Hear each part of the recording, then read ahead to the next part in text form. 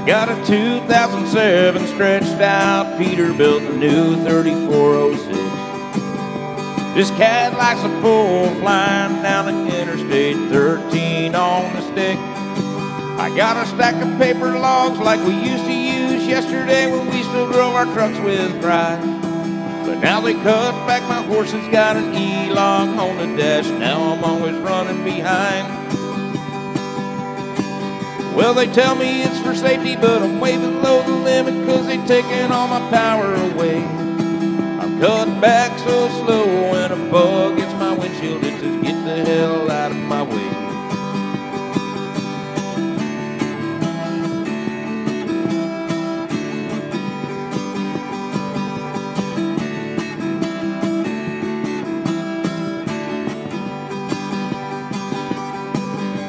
my stretched out Pete, he looks good at the truck stop, even running down the road.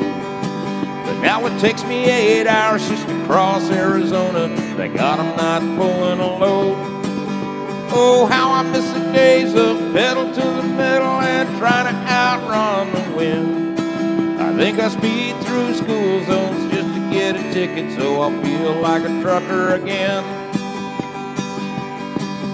Well, they tell me it's for safety, but I'm way below the limit cause they're taking all my power away. I'm cut back so slow when a bug gets my windshield, it says get the hell out of my way.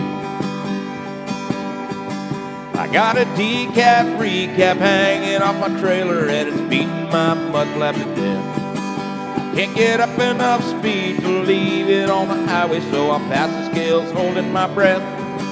I'm doing 60 miles an hour, but the speed limit is 80, and they think there's nothing wrong with that. I'm cutting back so slow that I'm gonna make a video, then I'm gonna take me a nap. Well, they tell me it's for safety, but I'm way below the limit, cause they taking all my power away. I'm cut back so slow and a bug hits my windshield, it says get the hell out of my way. Cut back so slow when a bug hits my windshield, it says get the hell out of my way.